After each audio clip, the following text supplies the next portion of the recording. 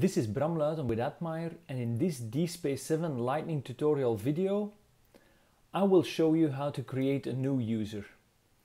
To do this I click on the top right corner for login and I click, click here to register. As the first step I enter my email address and you can see that DSpace 7 automatically does an email, um, email address validation.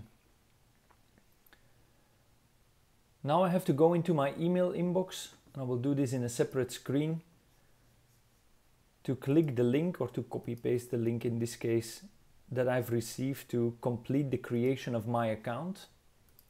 So I'm pasting that in the browser URL bar right now. So and this leads me to the create profile page where DSpace 7 is actually very secure and DSpace has been secure in the past that passwords are never sent in clear text over um, email.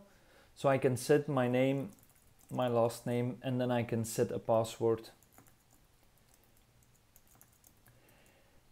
And this password is also stored in the backend without with a specific hash um, algorithm that prevents the password from being stored in clear text.